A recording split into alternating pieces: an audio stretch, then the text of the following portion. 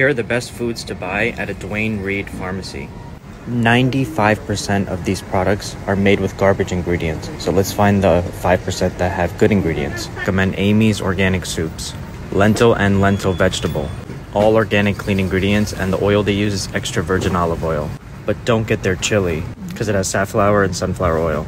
If you love fruit snacks, then this would be a good option. Bare fruit rolls. Very clean ingredients. I do wish it was organic, but at least it's non GMO. Remember, we're also at a conventional pharmacy, so this is the best you can get. It's raw organic honey, very good. Just organic raw honey. Organic means not sprayed with any chemicals or pesticides. Raw means it hasn't been heated or filtered. Bumblebee wild caught pink salmon, just pink salmon and salt, very clean. They also have Suja organic cold pressed juice, very, very clean and very good for you. There are also no natural flavors in any of these. And here's the best option pasture raised Vital Farm eggs. This means that the chickens are raised on pasture, so this is very clean.